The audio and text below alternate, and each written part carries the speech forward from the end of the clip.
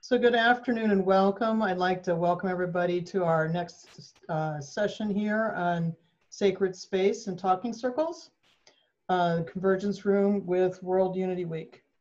Um, and, and today we have um, toward healing racism and social justice.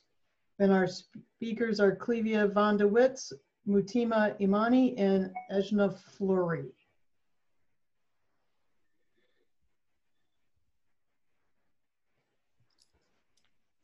Welcome, everybody.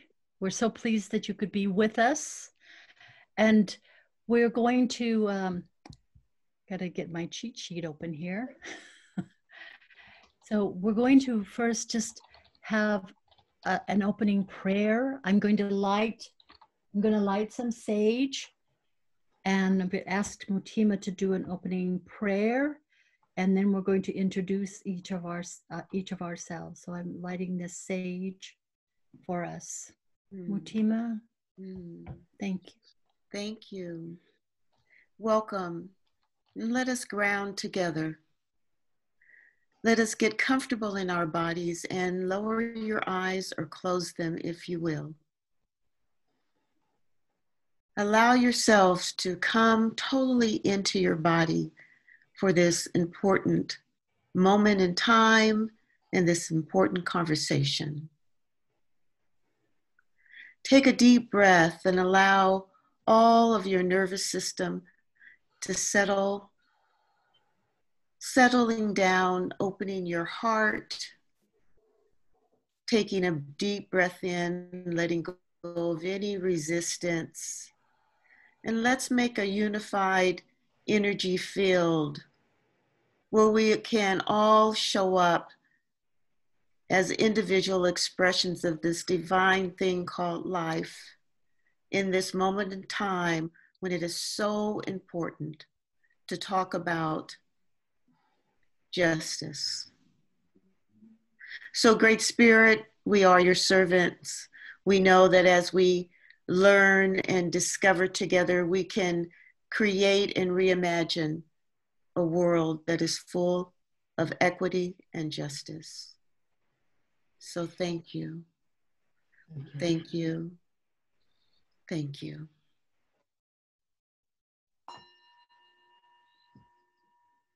Thank you, Mutima. And allow me to introduce myself. I am Ejna Fleury, and uh, my lineage is I'm an enrolled in South Dakota at the Crow Creek Sioux Reservation. It's um, one of several reservations in the state. And my mother comes from a different reservation, which allowed me to be related to many of, um, I think, all of the, the great Sioux Oceti Sakowin. I also have some French blood, so I have European ancestry also. And I want to, and just a really brief introduction because I'll say say more things about myself in a little bit, and my sisters are going to introduce themselves. So Mutima will make her introduction. Mm. Mutima Imani is my name. I'm an African American woman whose family were brought from Africa, enslaved in the United States. Uh, my mother's father was a Blackfoot Indian, part Blackfoot Indian, so I have some native blood too. Um, my father was in the service, and so I traveled outside of the country for my first eight years. And um, so I've been in other cultures, and I'm really happy to be here as a social justice peacekeeper, restorative justice practitioner. Thank you. Clivia? So I'm, my name is Clivia von Dewitz. I'm very honored to be on this panel today. I have been working as a judge in Germany. I have interned at the Truth Commission in South Africa, and that has completely changed my perception of justice and the role of judges, courts, and how to move into a new direction. So I'm looking very forward to our discussion. Thank you, everyone, for being here today with us. Thank you. So part of what we enter this panel and this discussion and this sacred time together is that we know that our social and justice systems are, are broken.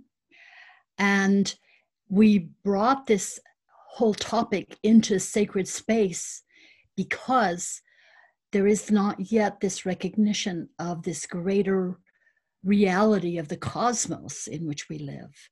And so we want to invite all dimensions of our being to be here because this is time.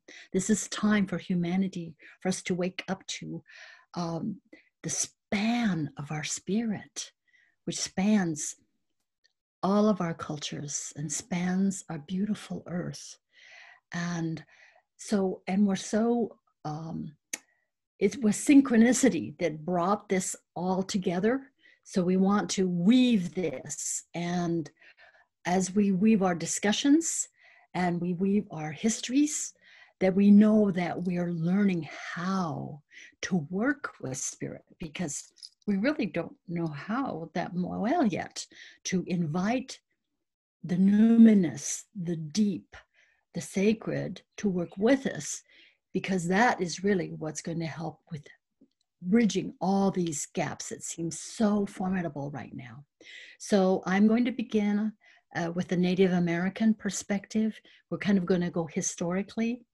So I'll start because of being here on this uh, this soil here, and then Mutima will uh, speak because of the diaspora from Africa, and then uh, Clivia will speak, and and we're going to try and span, you know, from the personal to the our uh, professional and then into this greater perspective. And then after that we will break into breakout sessions. So with that i'm going to um, ring the bell for starting this next session section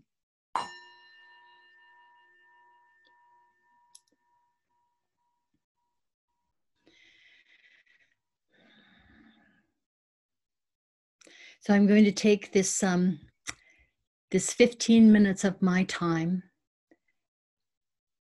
to share the challenges, but also the strengths of what Indigenous here on this continent and Indigenous everywhere. Yes, yes, we're all Indigenous of Mother Earth, but we're all born into these lineages. And I think the challenge is for us to take each of these lineages that we're talking about and what some of the lessons are because they're different there there's some of them there are same lessons and some of them are slightly different lessons.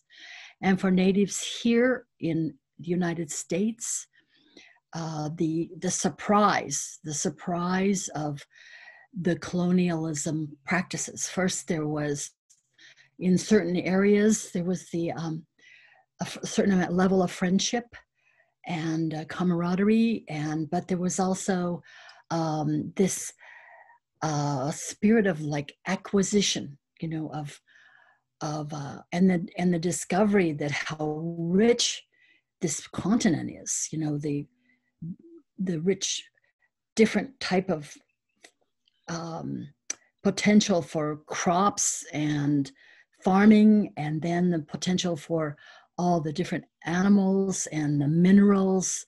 And so along with the progression of the industrial revolution you know we're just um, uh, we were pushed and we were pushed right almost from the outset pushed westward. And so my people were originally in minnesota and got pushed out onto the plains and I don't think most people realize that we were only out on the plains for maybe 200 years. I mean, it was not that long. But because of our um, tie with closeness to earth, we were able to be uh, befriend the Buffalo Nations, really. So we have a really strong tie. The Plains people, not only Lakota, but Cheyenne, the Crow, lots of tie to Buffalo Nations. But that's kind of to illustrate uh, when you're close to Earth and then you the animal spirits there's a befriending so buffalo was feeding us and clothing us and um, housing us in our teepees and giving us our ceremony and part of our spirituality.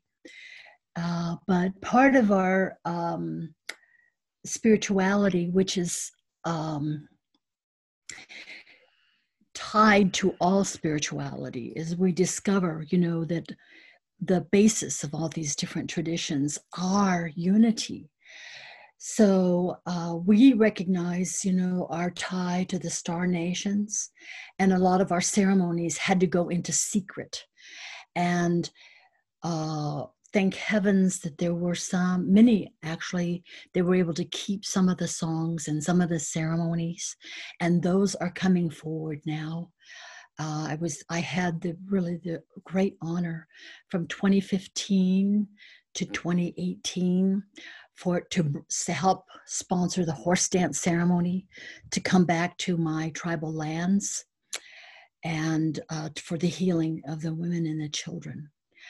But as far as the recognition of our people, we faded and we're faded into like into the background and and what happened to us has been suppressed and uh, i guess there's been a romanticization romanticization of of of what's happened.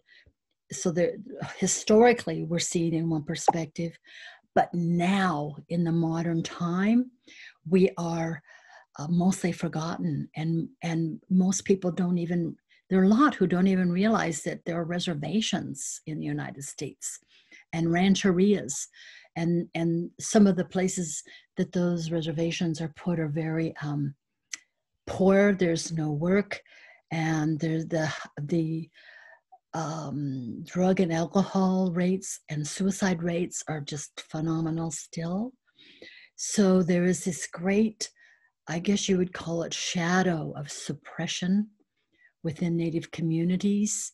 Um, those Native communities that are near big, huge um, populations, they have had they have casinos. So the casinos have allowed for a certain amount of financial uh, growth and and strength, but the spiritual strength yes, Great Spirit is, is waking up in all of our communities, but the relations between the United States governments, the state governments, is still so weak. And many of our children are being stolen by the social service system still, taken away. Um, the prisons are populated, you know, with so many of our, our native people the racism in the towns next to the reservation is still very, very prominent.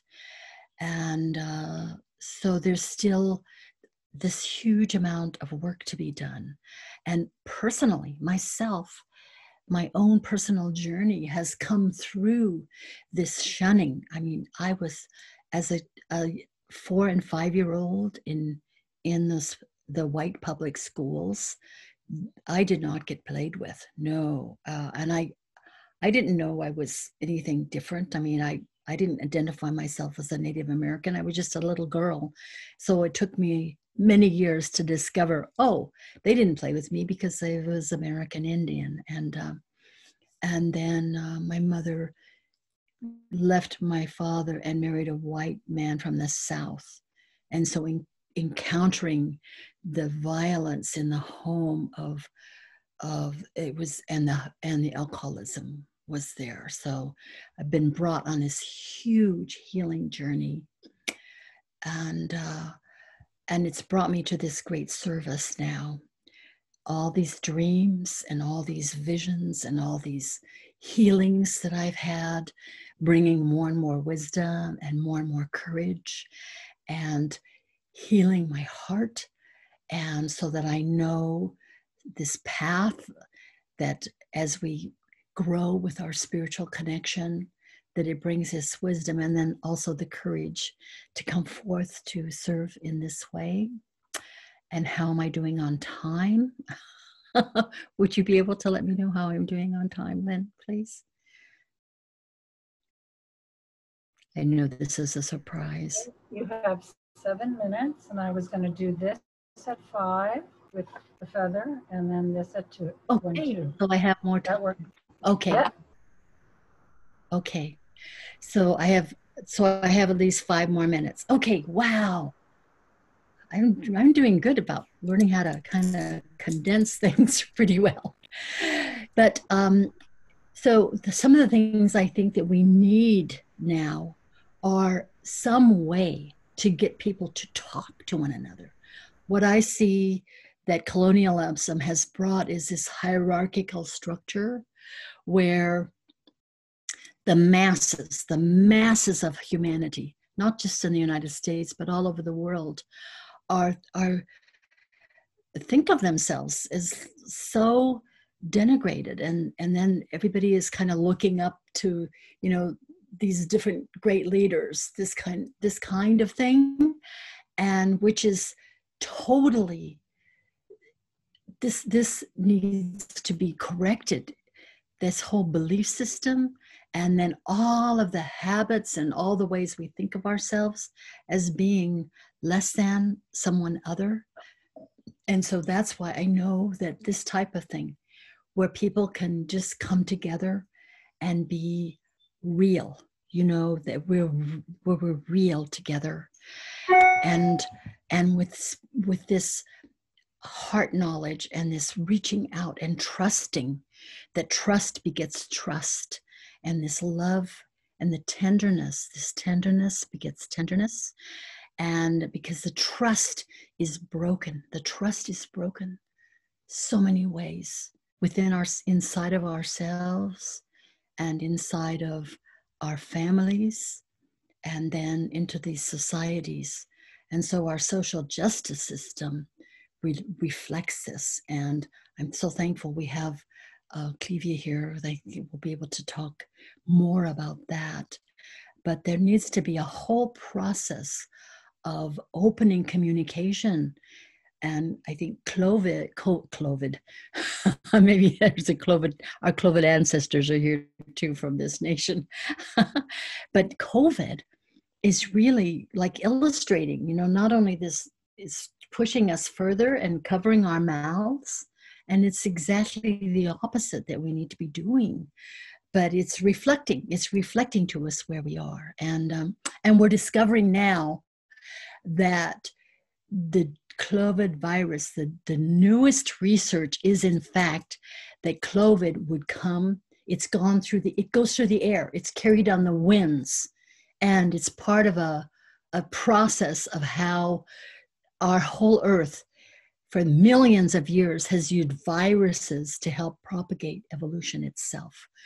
And, um, and what I'll do is uh, post some links to the most uh, current research to illustrate what the, what I'm talking about on this. So um, I feel like this is like like a beginning. These kinds of talking circles need to be instituted. And so those of us who are participating here, you know, for this, and then and then this is being filmed, thank heaven, so that this can go out and these kinds of messages can go out because uh, we humans are we're so we're we're magnificent we're magnificent and we have the ability to participate in consciously with all the forces of creation and and we need somehow to touch one another so that we all can know this.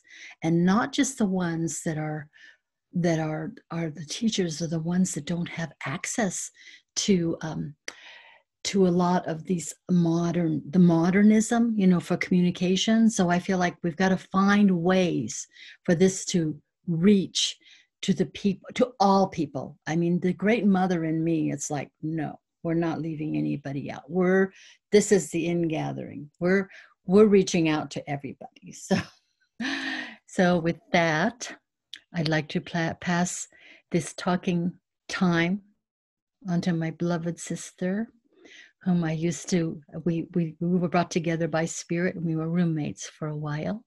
Mutima. Mm. Thank you. And let me say thank you for the wisdom that has been delivered through you. And I also want to thank everyone who is here. Um, I really believe that the time is now for exactly what we're doing. And that is so exciting to me. It is so exciting that we're bringing the sacred into the conversation around justice and around racism. And it is so important for each one of us to know that we signed up for this at this time to be here. So each of us has um, some responsibility and can be accountable for the way that we reimagine and reformulate the future for our generations to come. And so I want to talk to you about uh, colonization because it is the thing that has caused racism to uh, be a spoken word in everybody's mouth and um, a constraint, a ball of chain, a loose around many people's necks, especially African American people who are still being lynched in the United States today. So, what's really important is for us to really begin to look at our history. And our history wherever we're living is so important because if you don't know where you've come from, you'll be confused about where you're going. So there's this bird called the Sankofa bird out of the African culture that says you have to look at the past in order to be have a clear pathway to the future. And those of us who are alive, we're in between our ancestors. So I'm going further back than just the history of the country, but the ancestors that we've all come from. And the because we live in the middle between the ancestors and the uh, future generations, it is our responsibility to uh, be accountable. So there's so many human atrocities. Um, I remember when Nelson Mandela got freed, he came to Oakland and I got to go to the Coliseum to hear him. And the first thing he said to the United States, Turtle Island, if you do not make amends with the indigenous people of this land who we live on, that was stolen from them, if you don't do that, you're just spinning your wheels, that that's the place to start. And so in the United States, um, there are some what we would call atonements that need to happen, some repents, some uh, forgiveness, uh, uh, reparations, all of that. And it is really because of white supremacy. So I'm going to give you a definition of white supremacy from a woman named Elizabeth Martinez. She says white uh, supremacy is a historical based, institutionalized system of exploitation and, and oppression of continents, nations, and people of color by white people and nations of the European continent for the purposes of maintaining and defending a system of wealth, power, and privilege. So, um, one of my mentors, may she rest in peace, Frances Cress Welsing, said that her mentor said, if you do not understand white supremacy, what it is and how it works, everything else that you understand will confuse you. So, oftentimes, in a mixed crowd, when these words are spoken, a lot of resistance comes up. And I'm not talking about white people, I'm talking about an institutionalized, systematic program that has been in place. And, you know, when I'm with people and they say, well, you know, I'm not benefiting from it, I'm like, if you look at the history, there is this saying that says that if you are white, you're all right. If you are yellow, you're mellow. If you're brown, you can stick around. And if you're black, get back. So there has been this demonization of people of darker hue, people who call themselves black. And in the United States, we're at a crucial time and all over the world because people are, are um, protesting together that Black Lives Matter.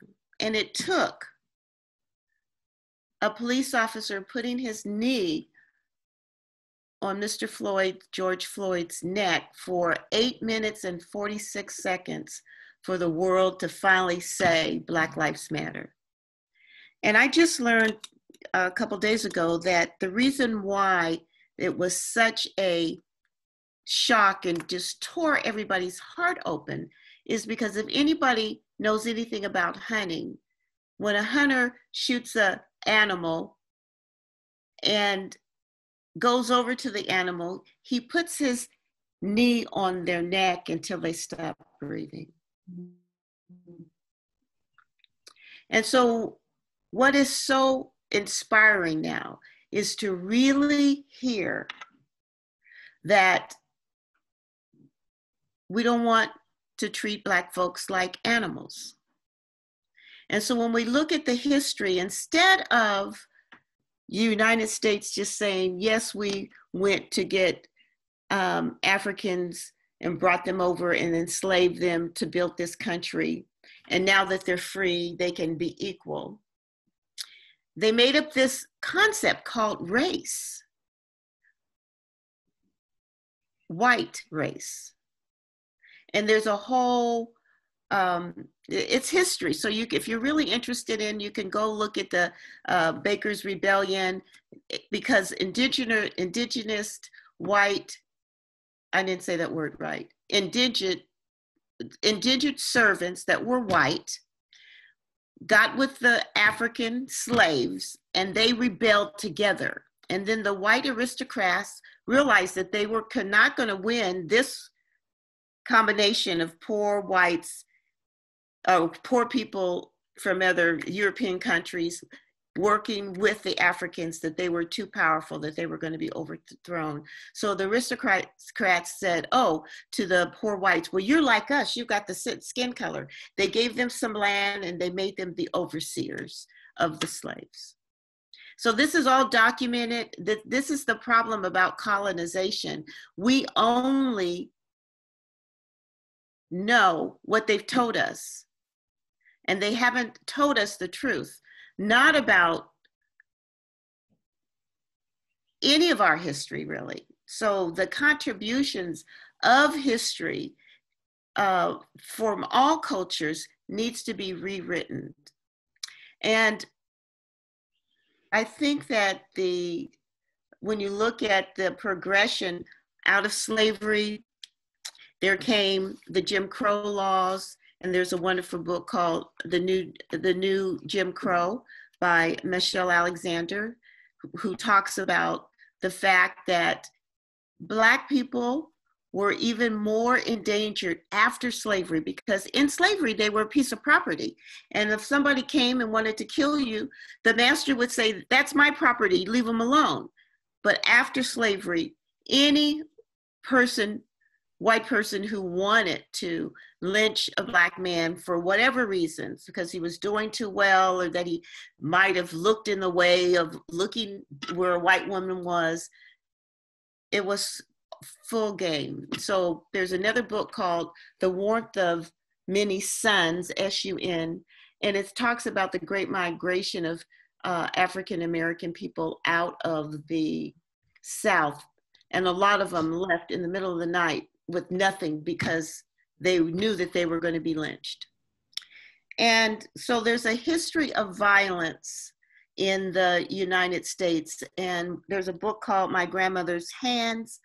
And that book talks about black body pain, white body pain, and blue body pain. and the blue body is police pain. So, what we see in the United States, and we're at a pivotal moment when we're looking at how can we look at the justice system and make it fair. And this whole concept about defunding the police is really about rewriting history. It really is about looking at the moral injury that Black people have because the people who are supposed to be protecting the community kills us instead of protects us. So the criminal justice system in the new Jim Crow, there was this law that if you were black and standing on the corner, a white person could come up to you and say, show me your work papers. And if you didn't have work papers, they would arrest you, a citizen arrest, take you to the courthouse. And if you didn't have enough money in your pocket to pay the person who brought you there, the clerk, and the judge, you would be sold. Or a corporation would buy you, and then you would have to, they would pay your fine, and you would have to go work uh, at these uh, factories. So that there is this shocking awareness of how systematic oppression actually exists. And in the United States, there have been laws, housing laws, lending laws that have said that has excluded people um, of color. And so it's really important for us to begin to practice forgiveness. And that's my piece. Like, I forgive you, America my brother who has fallen out of grace into sin. I forgive you for the bodies burning, backs being beaten, mothers crying, babies dying. I forgive you and I take back my power. So we can never talk about injustice and the trauma of racism and, and injustice uh, system without talking about the resilience of the people. So, with all of the horrific things that have happened, you see people wanting just to have peace, just to have a life where you don't have to be persecuted because you're living by black, being black or left on the reservation forgotten about because we're so ashamed of our history. So, in all of my work, I really know that this is one of the hardest conversations. This is one of the hardest conversations to have. But this is one of the most important conversations.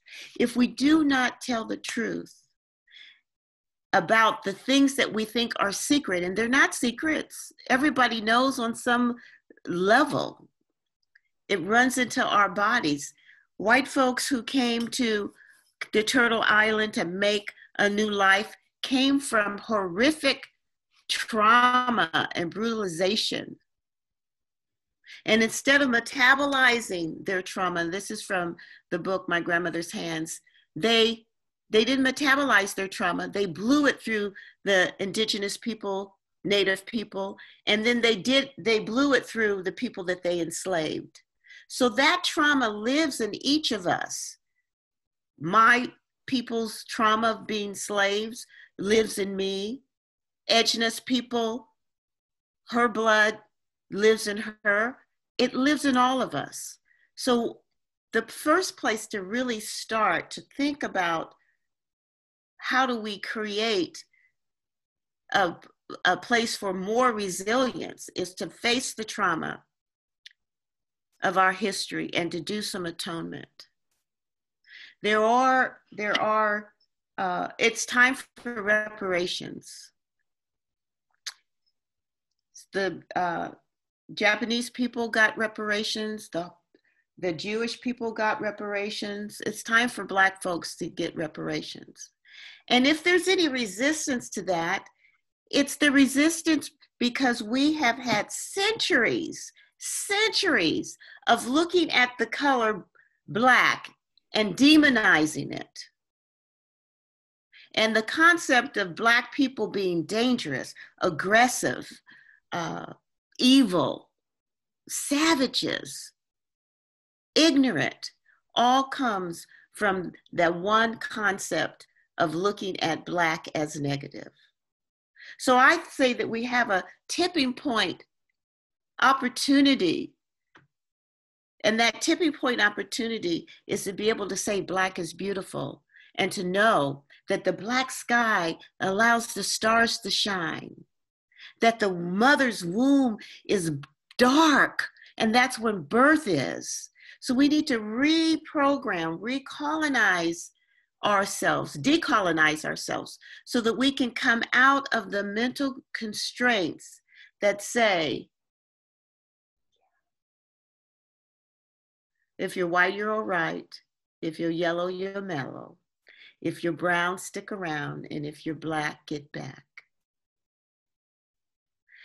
We don't need any more detention centers for our brown sisters and brothers, taking them from their children like it's okay. Why weren't we enraged in that?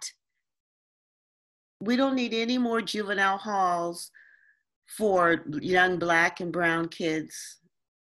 And what's it going to take? Do they have to come out off after the white kids in order for it to happen? No, we say we're stopping it now and we're doing it together. The world is unifying and saying and wanting to hear, and I'm willing to say it. I forgive you. Please forgive me. I am sorry.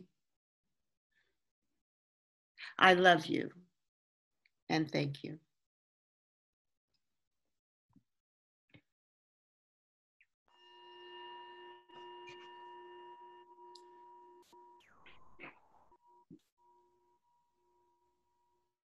So, in order to have this very tough conversation, there are some ground rules. And one of them is to be in either or thinking. In order to have a deep conversation about these things, we have to be able to hear people who don't think the way that we think.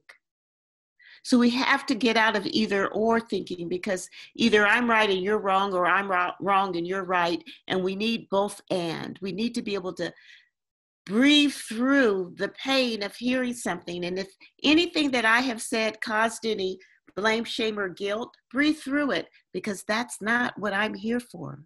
And anytime those emotions come up, we get stuck and we stop listening. It is really time to do some deep listening.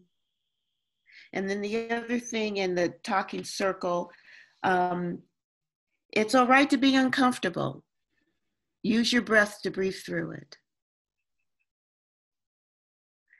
And I think my time is about up, so thank you. thank you. Thank you, sister. It was beautiful.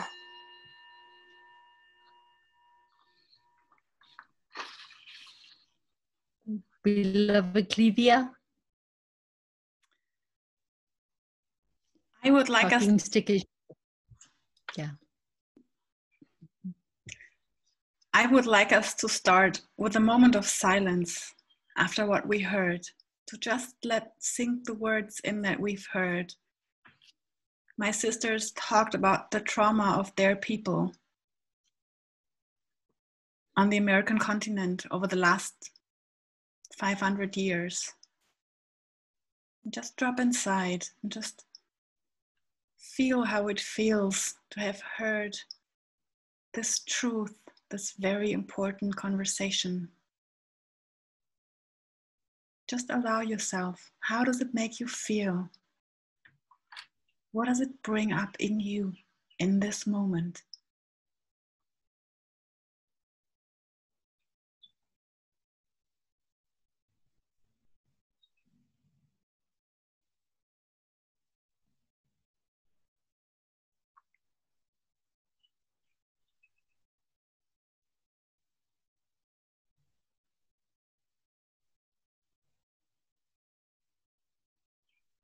And can you allow all these feelings to be here?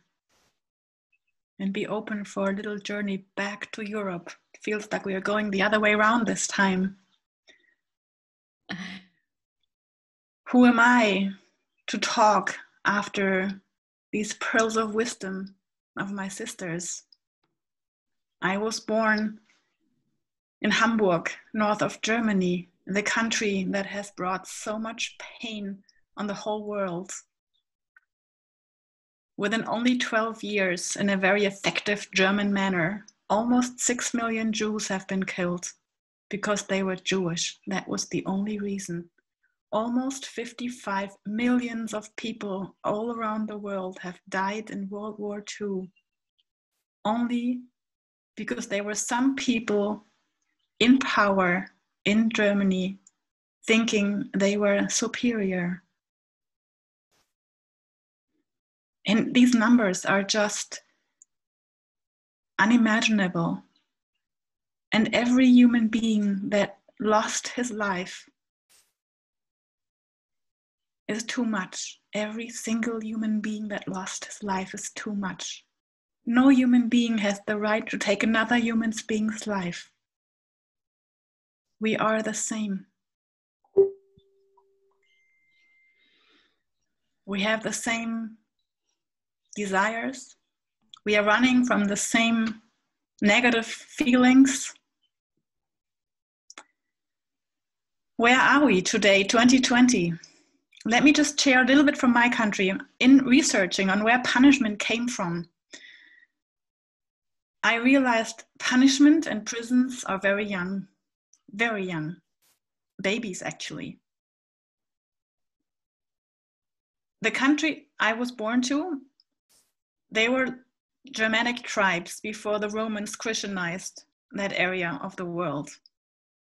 And in this Christianization, we lost our indigenous traditions, rituals, our connection to the land. What I found really interesting, I just read it a couple of days ago. The land didn't belong to the people, the land belonged to the community in the Germanic tribes. And how did punishment work? Yes, there was blood revenge. I think every community knows blood revenge. I think this is the first impulse of human beings. If you have lost something, if somebody has hurt you, you want to hurt back. But that's the first impulse. And it's up to all of us to not follow this impulse because we all are human beings. We have this in us. I really want to bring the attention back to us. And then, besides blood revenge, there were always in all indigenous cultures there was always a system of peacemakers of a system of paying money making reparations trying to make up for what has been hurt has been taken away has been destroyed. And in the 12th century punishment was born. Because societies in europe grew bigger there was competition for land and people wanted to have power over other people. And in order to have power over, they had to be higher. And to make themselves higher, others had to be less. And in this moment, the sovereignty was lost. And in these times, I'm so happy to see how so many people are standing up, taking back their sovereignty, saying, we are equal.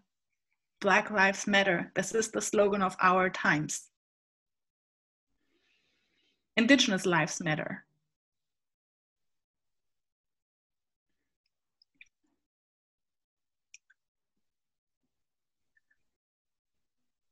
Let me come back to Germany in the last century. After the war, the United States, Britain, France, and Russia stayed in the country for a couple of years to make sure that this is never going to happen again in Germany. And they helped us build up a very strong democracy built on the rule of law and especially on human dignity. Our first basic law, our constitution says human dignity is the most important value. And I am I, I do believe that we have managed to bring human dignity to a very important place. And we have challenges, but we are in a good way. There is sens- sensitivity in Germans of how quickly something can turn in a very ugly way. It took Germany 20 years to really face the Nazi past. End of the 50s, trials took place dealing with the atrocities that happened in concentration camps. The Auschwitz trial, the most important trial happening from 63 to 65, took place in front of a German regional court in Frankfurt.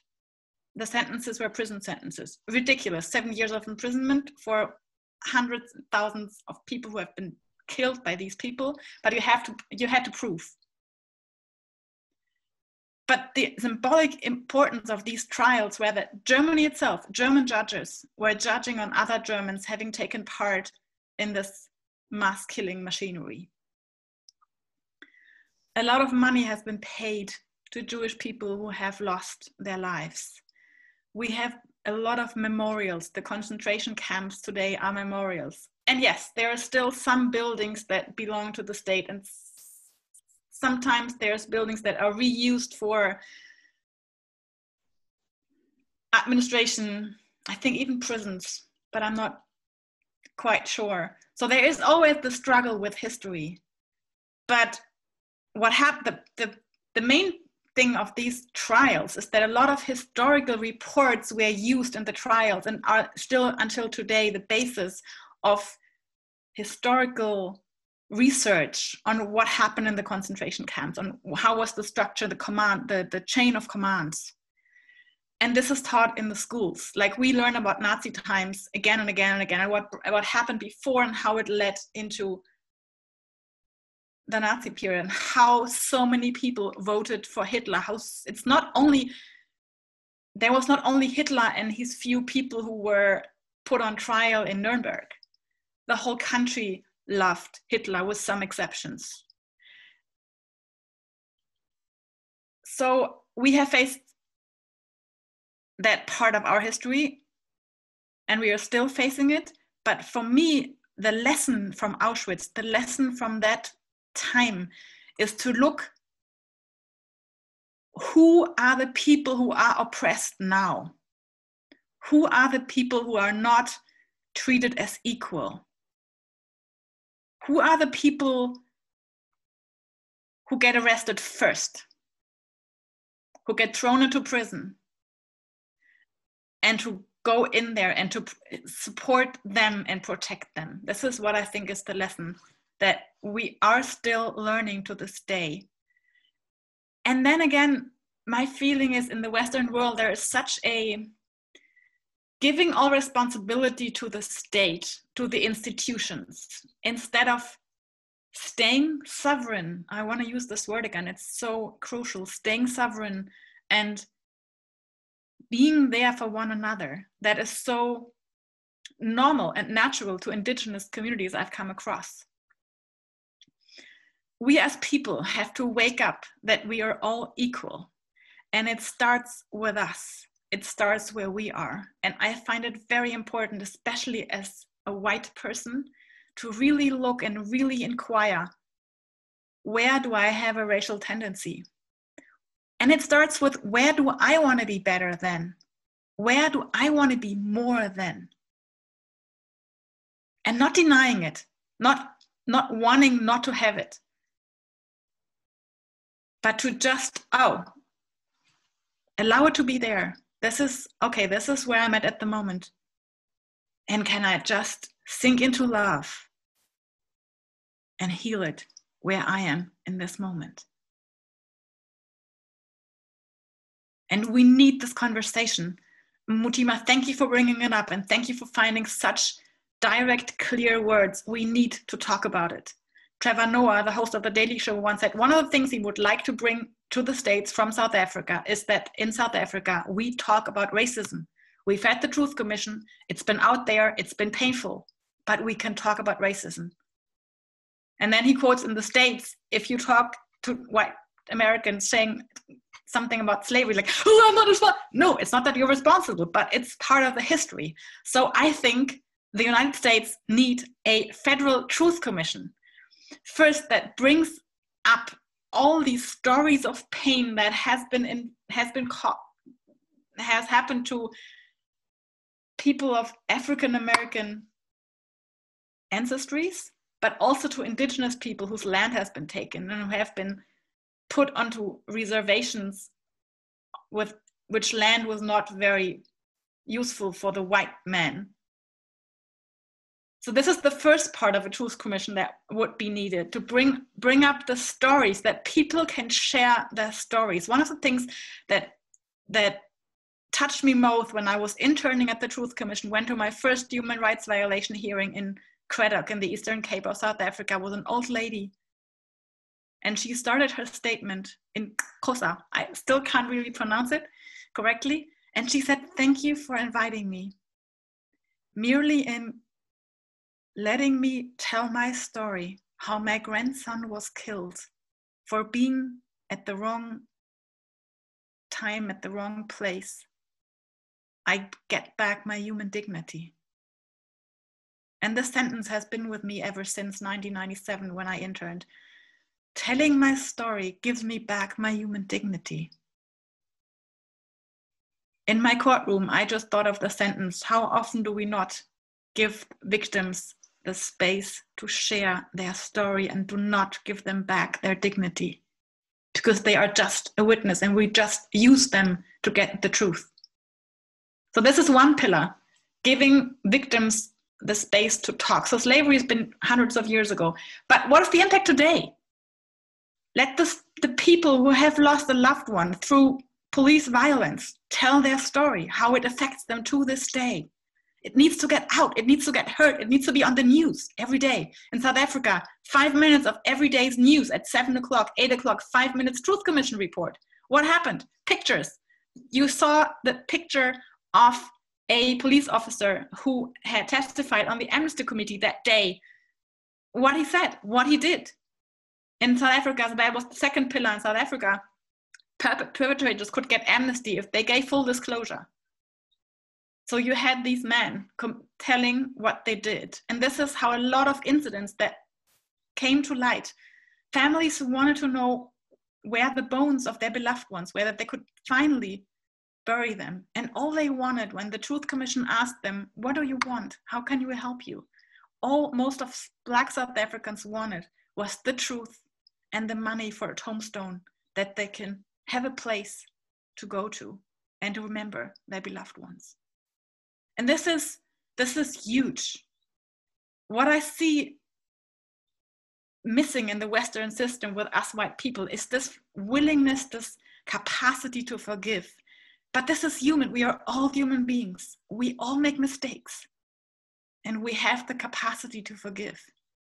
And Mandela, Nelson Mandela has shown it. He was thrown in prison for 27 years and he came out and was an icon of forgiveness. And Tutu said he needed his years in prison to soften and to work off his anger.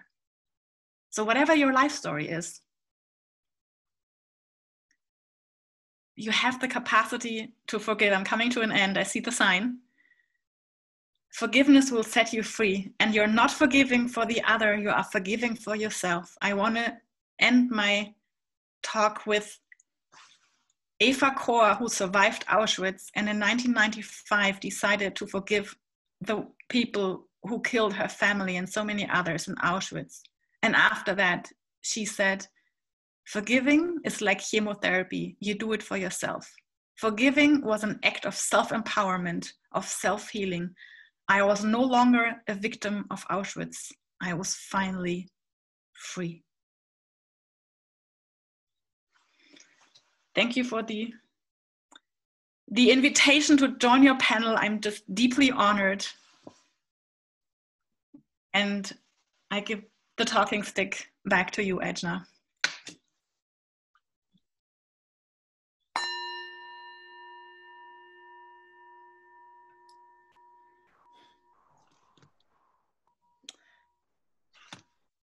Thank you.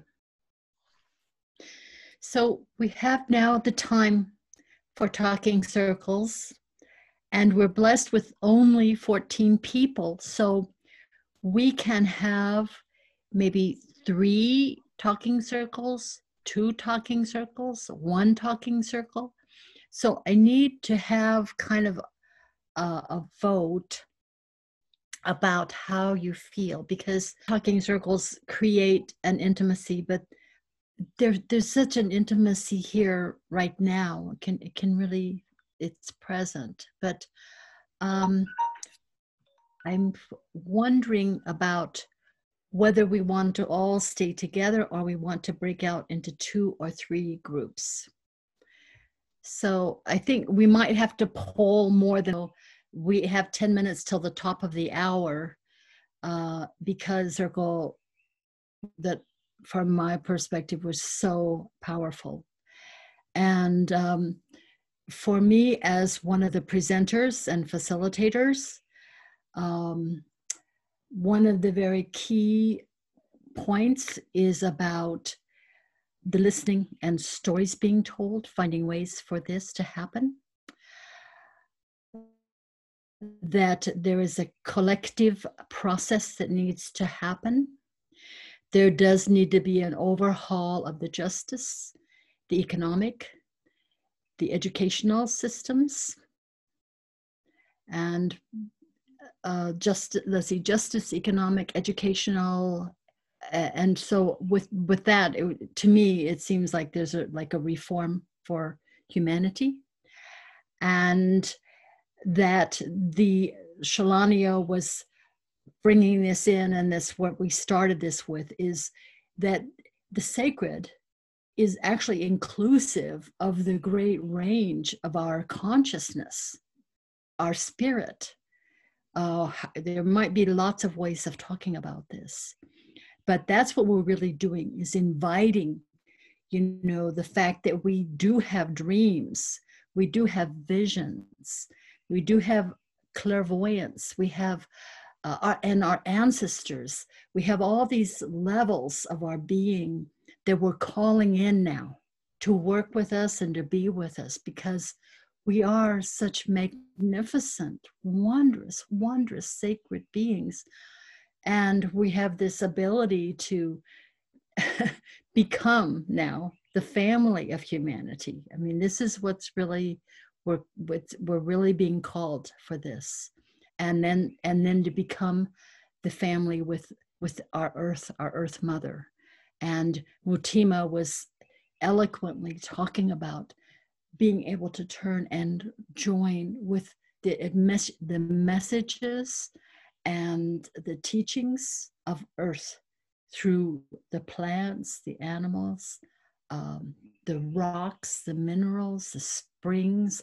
Lot, I mean, we have so many relationships across so many cultures of relationship with with earth in all these different ways. So um, that's that's sort of what I'm gathering. And then the other thing is that we absolutely, Brother Phil and I are talking about instituting uh, talking circles, and I would want to call them like sacred talking circles or sacred space circles for for um, sacred dialogue. I mean, uh, you know, uh, maybe there's some other terms that we need to. Um, come in, bring in so that it could be uh, more uh, so it doesn't put push people away we want to bring people in so uh, but that's something that we'll have to discern you know as this uh, as we think about doing this to in, instituting this in various ways and that that we're global i mean we're already global with this this discernment and this um, Talking Circle Leadership Program and Unity Earth, uh, Unity Week, so that we're already touching each other in global ways so that we can really spread this, whatever, all the inspirations. So I've said my little piece. If Mutima and um, Clivia, please, for, for what this has brought for you.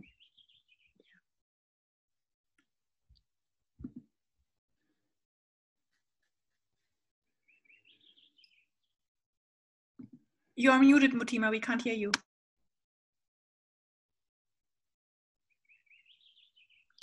I just wanted to say I appreciate the opportunity to be a part and um, thank you all for coming.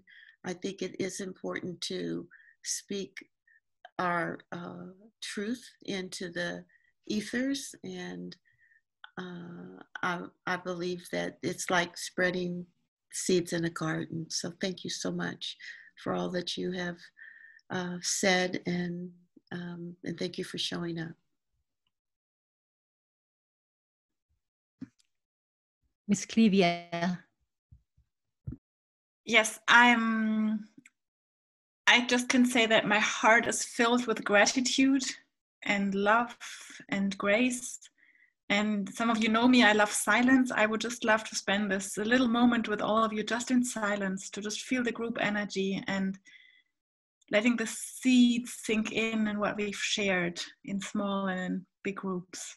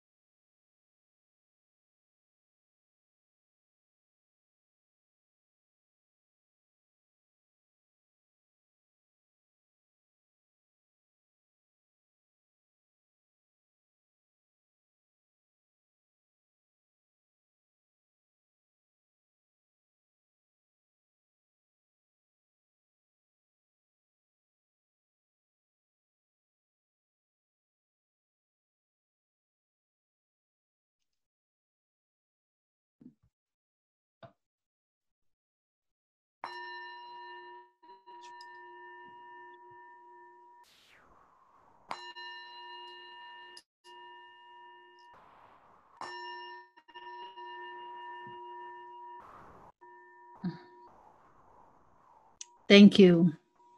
Thank you so much.